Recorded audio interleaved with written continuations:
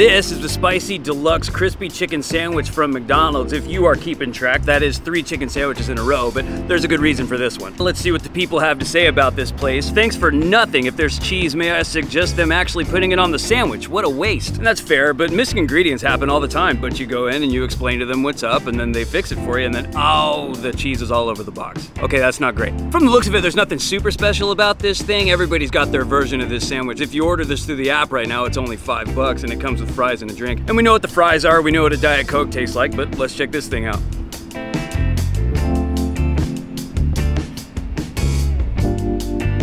Obviously, it's not in the same league as a sandwich at Popeyes, but the full meal for five bucks, 83. It's not terrible. And the only real downside is you have to order through the app and allow McDonald's to track your every move for the rest of your life. But if you're watching this on YouTube or Instagram or TikTok, you haven't had privacy ever. And look at this guy.